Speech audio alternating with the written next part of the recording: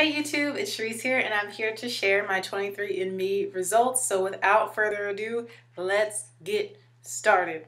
So I first want to talk about the process. Your kit comes to you in a box inside the sleeve and then it's wrapped in plastic so it comes to you nice and secure. It's also compact enough to fit inside of a mailbox or a um, like I live in an apartment building, so they don't like it doesn't have to go to the office or be put in one of those bigger boxes. Oh, I just realized my computer is about to die. Hold on, let me grab my charger. I'm unorganized.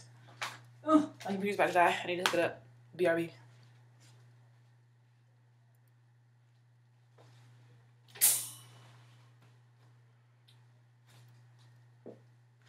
Okay, so yeah, it comes to you in that box in the wrapped in plastic so it's nice and secure, you know.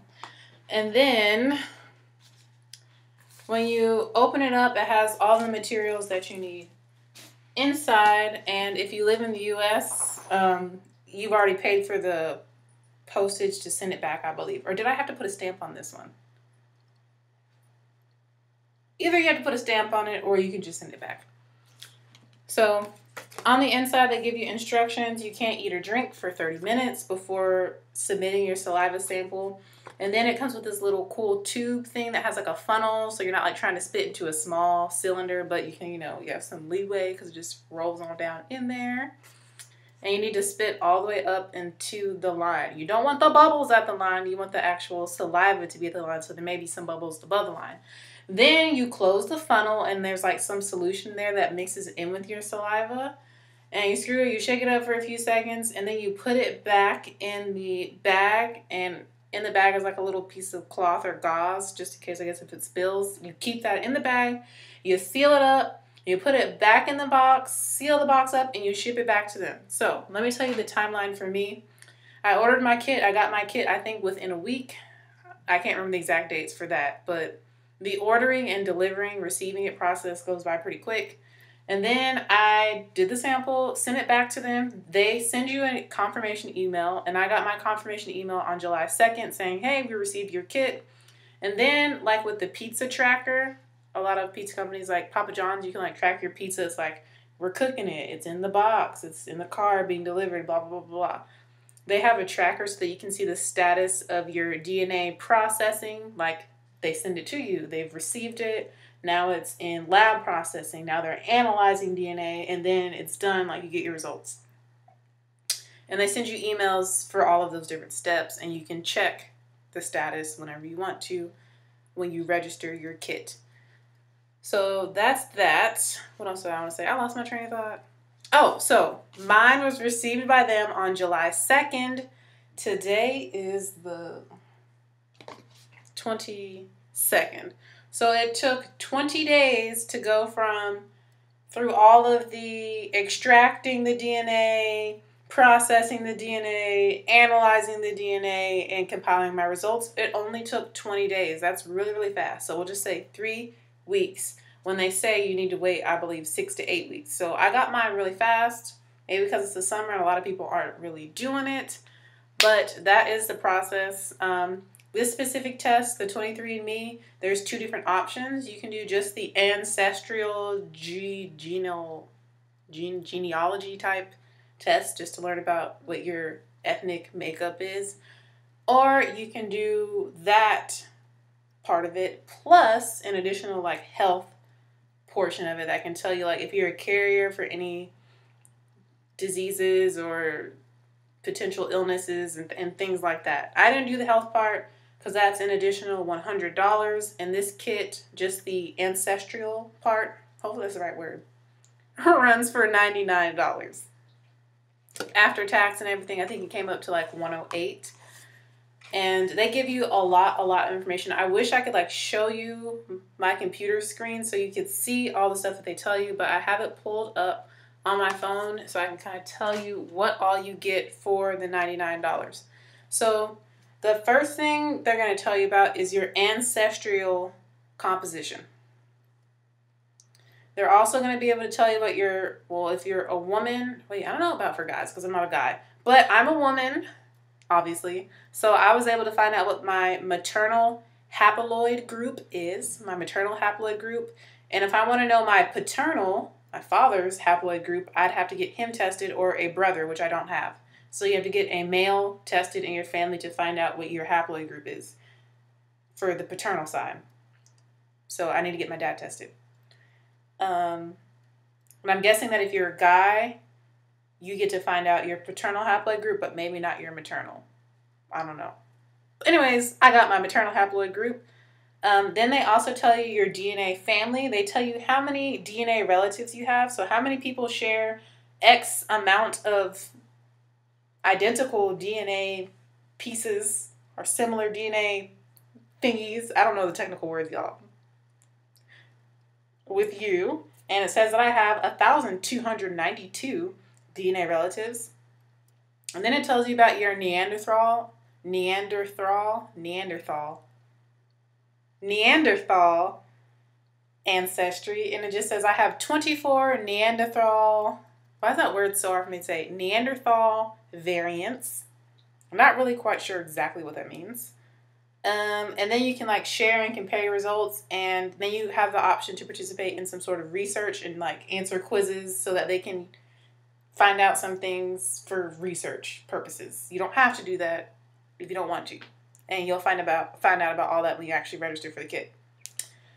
Um, my maternal haploid group is L, capital L, the number two, lowercase a, and then number one. And then it tells you what that means. Like it explains more, but I'm not going to go into that. What most people are most interested in is the ancestry composition.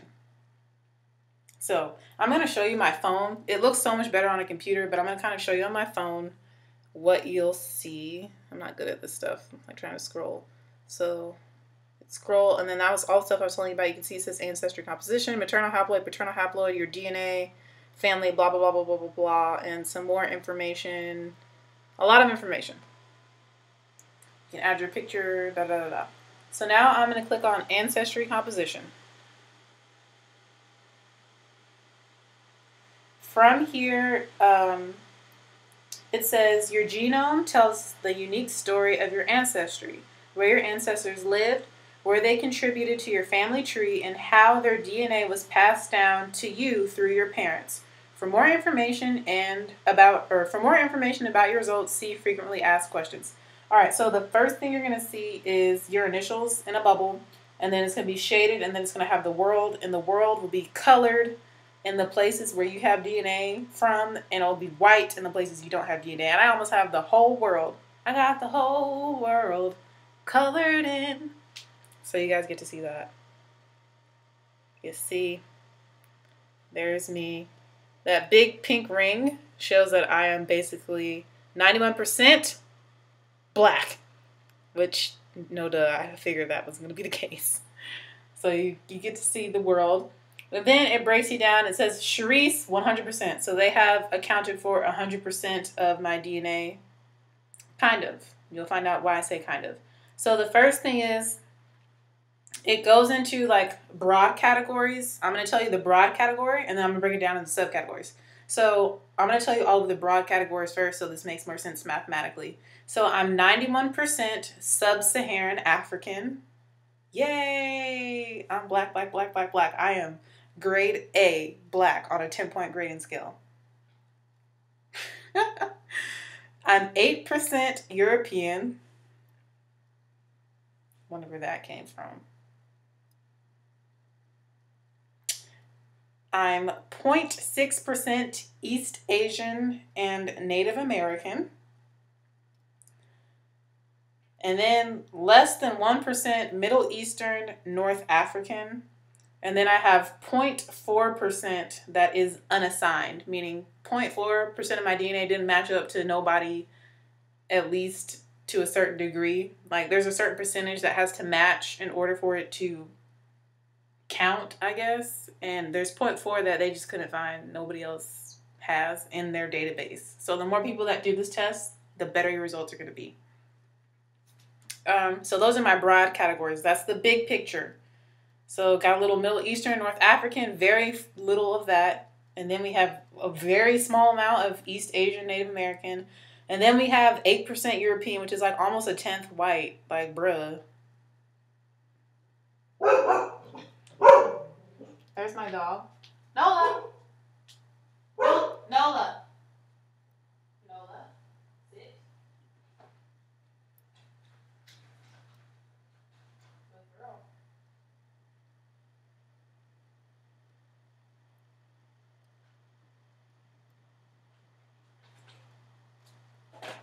Sorry about that. so yeah, almost a tenth white, which kind of shocked me.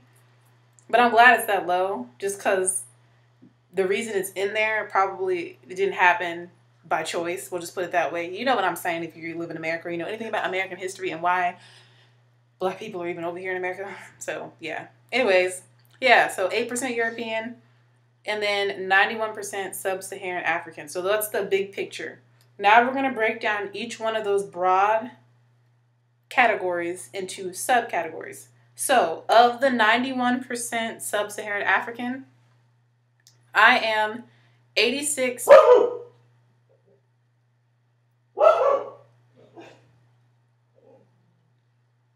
I'm 100% dog mom. Nola, come here. Nola. Here, Nola. Come here, girl. Yes, mama. It's okay. It's okay.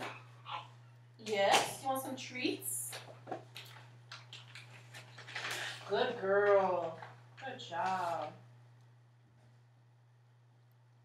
Good girl. Okay, I have no idea what my dog was barking at. I gave her some treats. She's being a good girl. Sit. Good, Nola. All right. Um, oh, so of the 91% sub Saharan African, broad picture, it's broken into three different parts for me.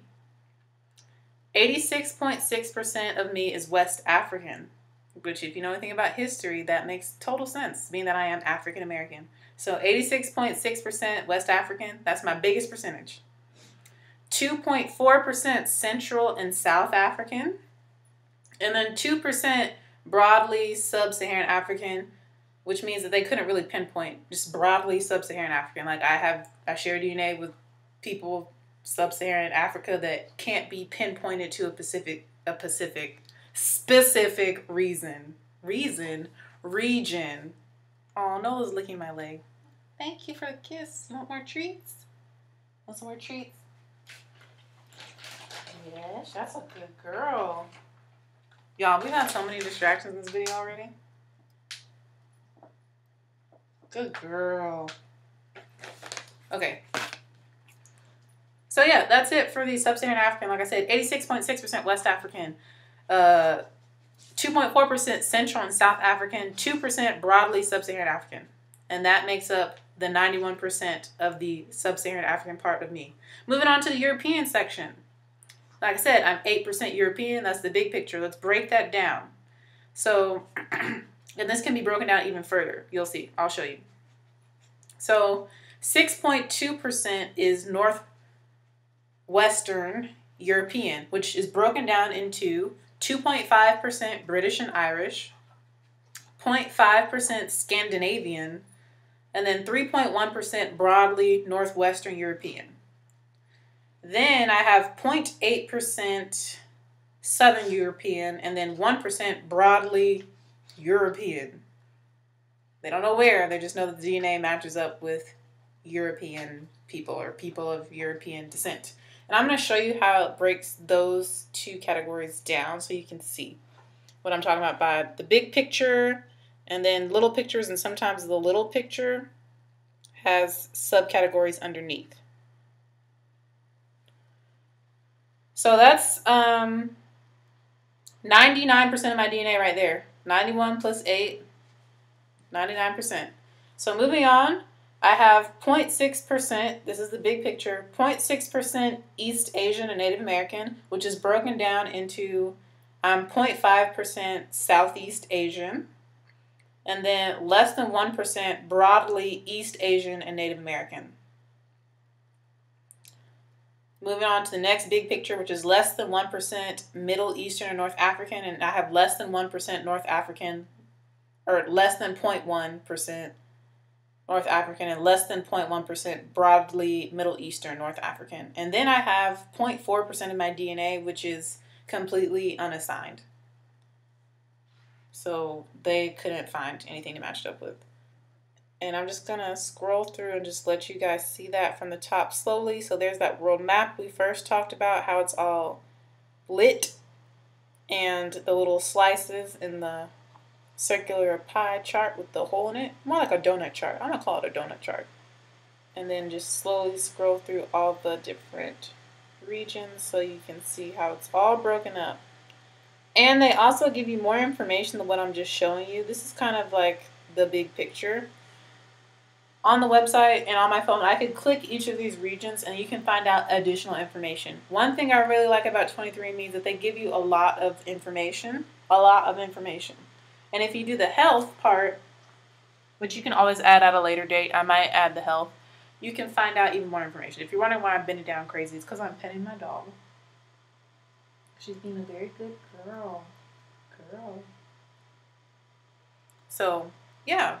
I think it's pretty cool. I pretty much expected all of these. Let me tell you the two things that kind of caught me off guard. Um, Scandinavian, that kind of caught, caught me off guard because, like, learning in school, I didn't hear anything about, like, the Scandinavians coming over to the Americas, you know? Like, you hear about British, the British coming to America and then, you know, I'm sure over there they were intermingling, mixing. So the Irish part, and my last name is Ishman, so a lot of people say that sounds Irish, or it's almost spelled like Irish. So British and Irish, I wasn't really too like what, but Scandinavian, I was like, that's interesting. And then uh, Southeast Asian, 0.5%. That was like interesting to me because I mean, I don't really, you know, Southeast Asian. Just interesting. So those are only two things that really did make sense to me. Everything else makes sense because it's all Africa. And then I or British makes sense. British and Irish kind of makes sense because, you know, history. So yeah, those are my ancestry composition results. I did do a test with ancestry DNA through Ancestry.com, and I will be sharing those results and we'll compare and contrast. Um, what else was I going to say? Oh, and I'm also running my results through second party websites to find out additional information, and I will talk about that in another video. This video is already long enough. Wanted to share that. I'm black and I'm proud. A lot of people ask, well, how do you feel now? I feel pretty much the same. It's just interesting to see it like concretely and say, hey, like you're 91% black, basically 8% European, and like less than 1% other random stuff. It's just interesting to see that in writing. I'm still black, so and proud of it. So that's it for this video. Like I said, I will be finding out even more information and I'll let you know what else I find out Ignore the fact that my foundation looks lighter than my body. I promise you, in person, it matches and it looks really good. But on camera, I don't know why it's looking strange. So, anyways, I hope you guys enjoyed this video. Um, I will make another video answering a little bit more questions about which one I like better, 23andMe or Ancestry DNA. And I'll make another video about what to do with your DNA results, like what else you can do with your DNA results after receiving them and how to use like your raw DNA and download that and apply it to some other places and things. So again, thank you so much for watching. I hope you guys enjoyed this video. Facebook, you already know and saw all this. Shout out to all my friends, teachers, family members that may watch this video. I actually might put this one on um, Facebook. I usually don't share my YouTube videos on Facebook, so yeah. Hope you guys enjoyed this video. Talking a lot now. I'm rambling. It's the summer. I'm tired. I'm hot. It's hot. It's too hot. I'm gonna go now. Hope you guys enjoyed this video. Black Power. Bye.